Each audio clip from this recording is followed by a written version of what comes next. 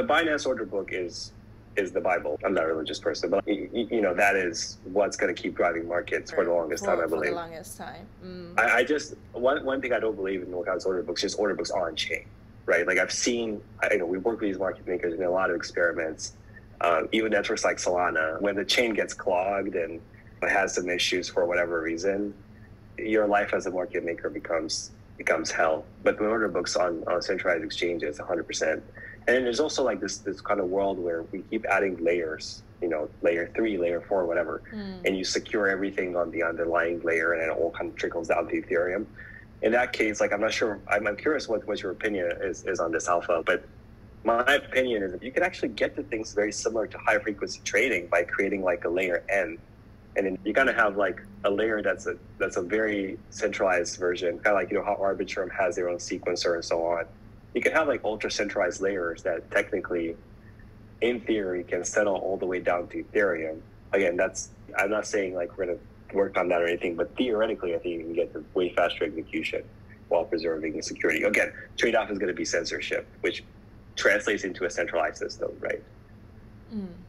When it comes to when, when people talk about layer two or people talk about blockchain, usually people like mix different things. So, for example, DYDX. What right, right now people talk about DYDX as a layer two based order book uh, system, right? And going forward, they just implement what they claim they will do in the V4. They will have the match engine, the order book based on the uh, standalone, the Cosmos based blockchain, right? Which is essentially layer one, right? So while these are indeed, you can say it's layer, I mean, the current version is layer two and the, the, the future version is a layer one blockchain, but all of them are standalone layer two or standalone layer one, which is just another species, another kind of animals, different from what we're talking about, Ethereum kind of a layer one, or the arbitrary optimistic kind of layer two, which I guess we can call, give it another name, Harmonic layer two, right? So if you like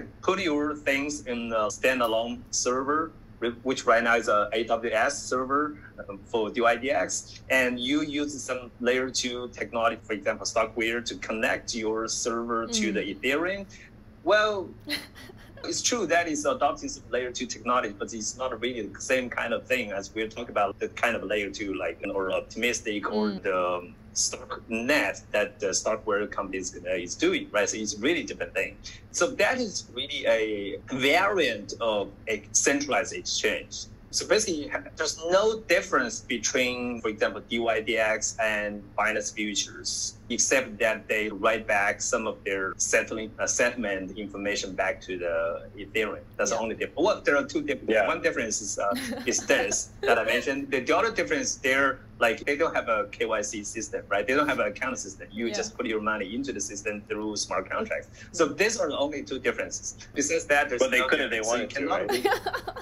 Yeah, yeah. So I think that's like how they compete with the real centralized exchange. But I, my prediction about this direction of the industry is that if this direction is proved to be a very efficient way to serve the trading.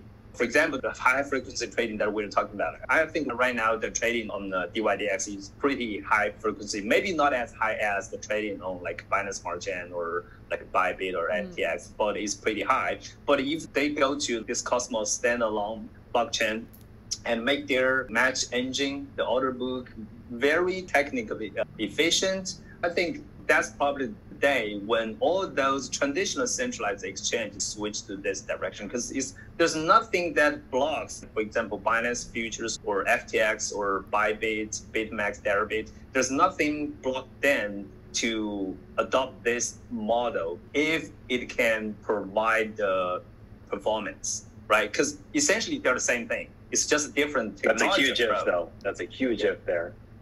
Uh, well, I, I'm saying if. Well, if it's not, then it's, there's it, it's even smaller point to do so. I mean, if this were happening one day, those traditional centralized exchange can always adopt this model too, because essentially they're the same thing. Yeah, yeah, that makes sense. Mm. Uh, I'm, very, I'm very excited to see the DYDX experiment. I'm calling it an experiment because I, I think that's exactly what it is. Mhm. Um, Yeah, it's I'm a very very excited to see interesting experiment. I'm wondering when the IDX people watch this episode. what they they know get. they're running an experiment. Yeah. And, and that's exciting, man. Like I think they they're trying to do they're trying to build something that hasn't been built before at that level, and they already have a successful product, but is a trade off of escaping regulation and kind of still. It, it, it's going to be interesting. I, I, very much look forward. It seems like they're making a lot of well, progress on it, so it's going to be live soon, right? Well, actually, I have a guess, which might or might, might not be true, but mm. uh, my guess is uh, this try by DYDX is uh, largely a response to the criticism that DYDX is a fake DeFi, right? I mean, it is some centralized server running on AWS. You cannot, just, you just cannot call that DeFi. Okay, they will say, okay, so if you don't think this is uh, decentralized enough, then I can make it decentralized by adopting a blockchain I think that's pretty much a response to this kind of criticism, which I personally don't think is the right way to address that point. But they, I don't think it's ego. I don't think it's ego, by the way. I think DYDX are specifically feeling threatened by the fact that regulation is coming in. Mm. While most companies are kind of like yielding to regulation, they're trying to build something that is wholly censorship resistant. So I think they're really trying to do this so that it can never be regulated, which is why I think well, it's so important, right? Uh, that that's another consideration too. Responding, yeah, they need to responding to the regulation, but unless you switch to a really decentralized network like Ethereum or things like that, if you are just like adopting a Cosmos-based standalone application blockchain network, I don't think is uh, regulation resistant.